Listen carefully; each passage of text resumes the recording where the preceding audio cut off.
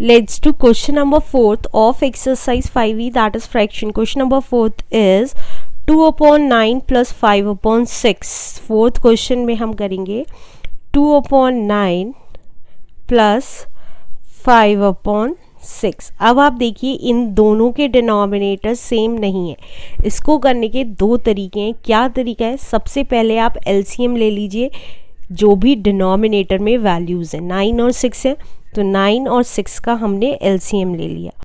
या टू से जाएगा nine as it is two three is a six then three से three three is a nine and three one ज़ा three again three से three one ज़ा three three one ज़ा three अब हमारा कितना आ गया? Three three is a nine nine two ज़ा एटीन एल आ गया हमारा एटीन तो अब क्या करेंगे? आप इन दोनों को लाइक like फ्रैक्शन में चेंज कर लेंगे, जो हम लास्ट एक्सरसाइज में करके आए हैं। तो टू अपॉन नाइन है। नाइन को एटीन बनाना है। इस नाइन को एटीन बनाना है। तो किससे मल्टीप्लाई करूँ? नाइन को किससे मल्टीप्लाई करूँ कि एटीन आ जाए? टू से। तो हमने किया इसको टू से मल्टीप्लाई ऊपर और नीचे। तो ये आ गया। टू टू ज़ो फोर अपॉन एटीन इसी तरीके से हमने फाइव अपॉन सिक्स को सिक्स को एटीन बनाना है। इस सिक्स को एटीन बनाना है तो सिक्स थ्री ज़ा एटीन तो ऊपर थ्री से ही मल्टीप्लाई किया तो ये कितना आ गया? फिफ्टीन अपॉन एटीन अब ऐड कर देंगे। देखिए, अब अब क्या करेंगे? इसकी जगह ये वैल्यू लिखेंगे इसकी जगह ये वैल्यू लिखेंगे। तो ये आ गई। Four upon eighteen plus fifteen upon eighteen अब देखिए, दोनों के डिनोमिनेटर सेम हो गए तो 18 लिख दिया। अब ऊपर as it is value 4 plus fifteen तो ये कितना आ गया? 19 अपॉन एटीन अब ऊपर वाली वैल्यू बड़ी है तो क्या करेंगे इसको? मिक्स्ड फ्रैक्शन में कर देंगे। तो मिक्स्ड फ्रैक्शन में कैसे करेंगे? देखिए 18 से 19 को डिवाइड किया। 18 वन ज़ा एटीन तो ये कितना बचा? वन तो इसको क्या लिख सकते हैं? One whole one upon eighteen right चलिए, इसका आप दूसरा पैटर्न करते हैं।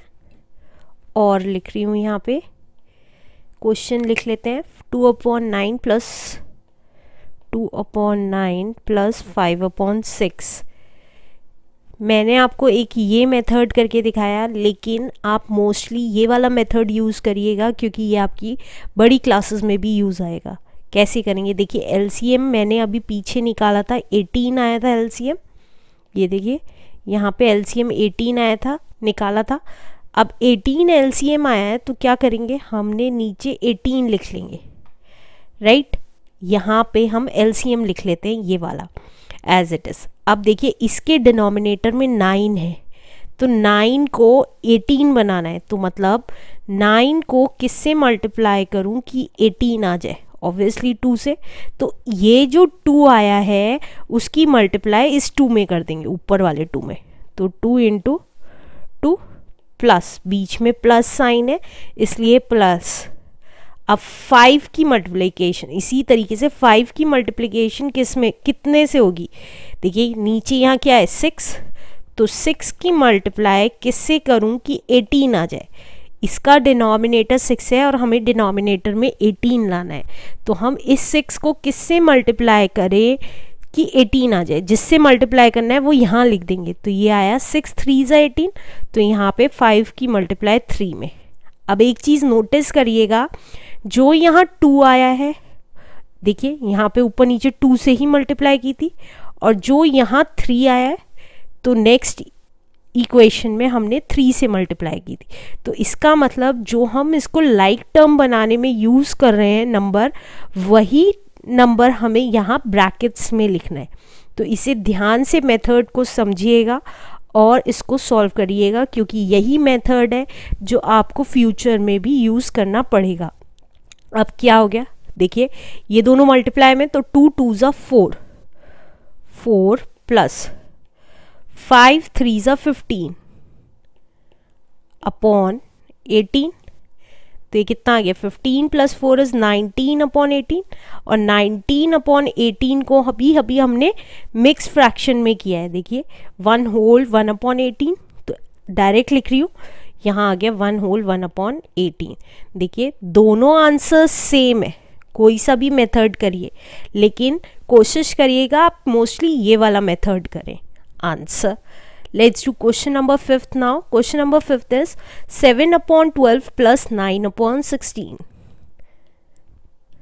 fifth is seven upon twelve plus nine upon sixteen मैं सेकेंड वाला मेथड कर रही हूँ, जो मैंने और के बाद वाला मेथड बताया था। Right right? तो वो कैसे करते हैं? ट्वेल्व और सिक्सटीन का एलसीएम लेते हैं। तो ट्वेल्व और सिक्सटीन का एलसीएम लिया। टू से जाएगा, टू सिक्स ज़ा ट्वेल्व, टू एट ज़ा सिक्सटीन, अगेन टू से, टू थ्री ज़ा सिक्स, टू फोर ज़ा एट, अगेन टू से three as it is two two ज़ा फोर, अगेन टू से three as it is two one ज़ा two and three, one ज़ा three. तो LCM कितना आ गया? देखिए, टू टू ज़ा फोर फोर टू ज़ा एट एट टू ज़ा सिक्सटीन सिक्सटीन थ्री ज़ा फोर्टी एट। तो एलसीएम आ गया फोर्टी एट, हमेशा ध्यान रखिएगा, एलसीएम वो नंबर आता है जो इन दोनों के हमारे टेबल में आएगा राइट तो अब देखिए, नीचे क्या लिख देंगे? जो एलसीएम में आया दैट इज़ फोर्टी एट। अब ट्वेल्व को किससे मल्टीप्लाई करूँ कि फोर्टी एट आ जाए? तो देखिए, ट्वेल्व को किससे मल्टीप्लाई करूँ कि फोर्टी एट आ जाए? फोर से, उसी फोर की मल्टीप्लाई सेवन में हो जाएगी। प्लस इसी तरीके से सिक्सटीन। इसके नीचे सिक्सटीन है तो सिक्सटीन को किससे मल्टीप्लाई करूँ कि फोर्टी एट आ जाए?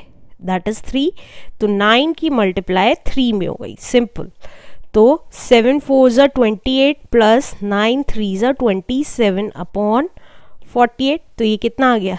8 plus 7 is 15 carry 1 2 plus 1 is 3 3 plus 2 is 5 55 upon 48 अब हमें इसे मिक्स फ्रैक्शन में करना होगा क्योंकि ये किसी भी सेम नंबर से कट नहीं रहे हैं।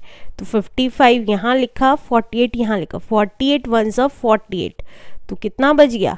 15 में से 8 गया 7 तो हम क्या लिख सकते हैं इसे? वन होल क्वेश्चन होल में आता है। वन होल क्वेश्चन तो हम क्या लिख सकते हैं इसे? वन होल क्वेश्चन होल में आता है।